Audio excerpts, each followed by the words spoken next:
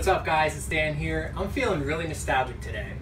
So we're gonna be making soft pretzels. When I was a little kid, just a little baker, I loved soft pretzels. I grew up in Philadelphia, pretzels are really popular, and I had this like laundry list when I was a little a little baker kid of like things I wanted to perfect and check off my list, like chocolate cake, brownies that didn't come from a box, and soft pretzels. So I spent a lot of time baking soft pretzels when I was little, and this here's my favorite recipe. I've been making them for a while check out how easy it is. So this dough is a, a, straight dough method for all you pastry heads out there. That basically just means you throw everything in a bowl and you mix it up. So what I'm gonna start with is one and a quarter cups of uh, warm water, not too hot, just a little above body temperature. And to that, I'll add an entire package of instant dry yeast. And I like to use that rapid rise yeast that you see sometimes at the grocery store. It actually has a little bit of, uh, I think it's ascorbic acid in it. It helps the yeast and uh, your dough uh, rise a little bit quicker. And to that, I'm going to add a tablespoon and a half of honey.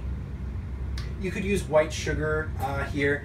You could use brown sugar, but uh, my preferred sweetener to feed the yeast with these pretzels is straight up honey. So these would be like a, an Amish style soft pretzel. Uh, you're not going to have that hard crust on the outside. They're much uh, lighter, fluffier, and they have a bit of softness to them. So here I'm just whisking together my warm water my yeast and my honey just to let that yeast get activated and give it a head start. I'm going to combine about two and a half cups of all-purpose flour, about three quarters of a cup of bread flour. That extra protein in the bread flour helps the gluten in the dough develop a little bit more. I'm going to add a teaspoon of just straight up good old table salt, wheat germ. And wheat germ is actually the inside of a grain of wheat that's usually removed for white flour. It adds a really nice toasted nutty flavor to these pretzels. I really enjoy it. You could leave it out if you want, but it's easy to find. So into my flour mixture, I'm going to add about two tablespoons of melted butter, just to add a little richness to this pretzel dough. And then all at once, I'll just add in my water honey yeast mixture, which you can see here has gotten a little foamy pour that all in right there. So simple. This is definitely a no frills pretzel dough. And then I'll turn the mixer on low. This is perfect here. You'll see I have a nice mass of dough in the middle and I have a little bit of my dry ingredients left on the side of the bowl. That's fine. After about four or five minutes kneading on low, this dough will come together. It'll be satiny smooth and it'll be ready to rise.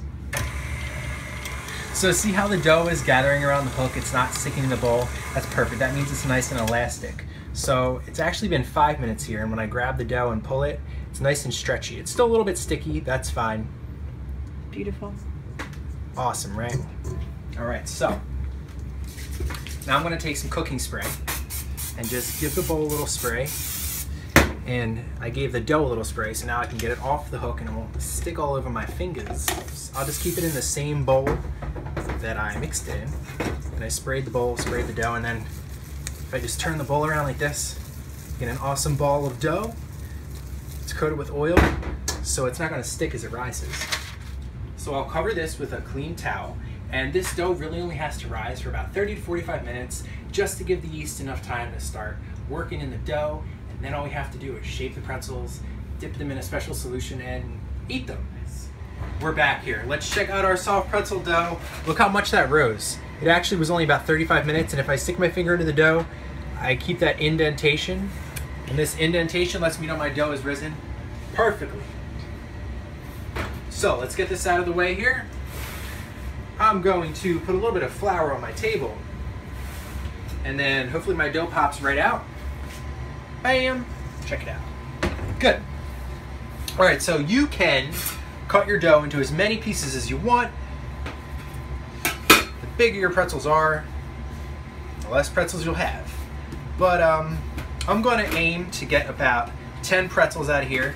So I'm gonna cut my dough in half and then aim to cut it into five equal pieces.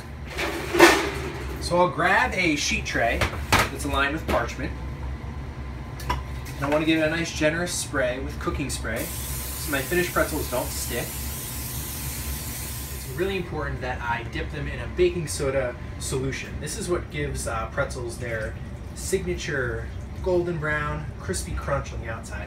So I had three cups of really hot water. And in that really hot water, I'm going to dissolve a third of a cup of baking soda.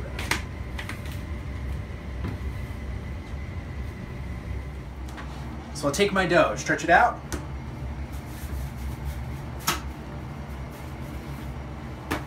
Roll from the center out using my palms and fingers until it's about 30 inches long.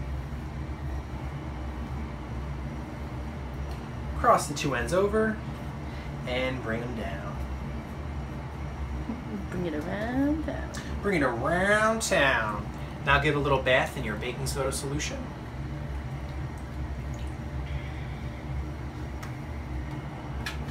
So once you have all of your pretzels on your baking sheet, you can take some coarse salt. I actually have pretzel salt here, nice big grains, and just sprinkle on as much salt as you like.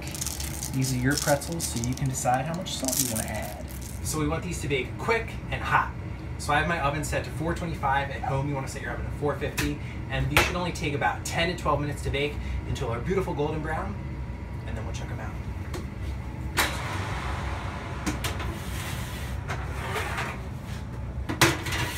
All that's left to do to finish up these Amish style soft pretzels is to hit them with some melted butter.